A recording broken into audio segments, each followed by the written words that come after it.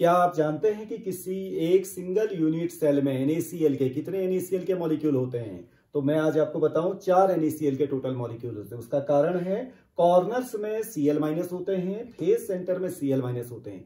तो जो कॉर्नर में सीएल माइनस है, उनका कंट्रीब्यूशन सिंगल यूनिट सेल के लिए होता है वन बाई एट और जो फेस सेंटर में होते हैं, उनका सिंगल यूनिट सेल के लिए जो कंट्रीब्यूशन होता है, वो वन बाई टू होता है।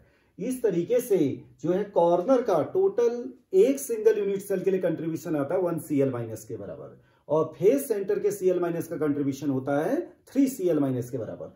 एट ए एज सेंटर में होते हैं एन ए पॉजिटिव जिसका कंट्रीब्यूशन कितना होता है, एक सिंगल यूनिट सेल के लिए वन बाई फोर होता है। इस तरह से वो कितने एन ए पॉजिटिव होते हैं, एक के साथ में थ्री और बॉडी सेंटर में एक ही होता है तो टोटल मिलाकर के आपके सी एल माइनस आए फोर एन ए पॉजिटिव आए आपके क्या? फोर तो that's why there are four N A C L molecules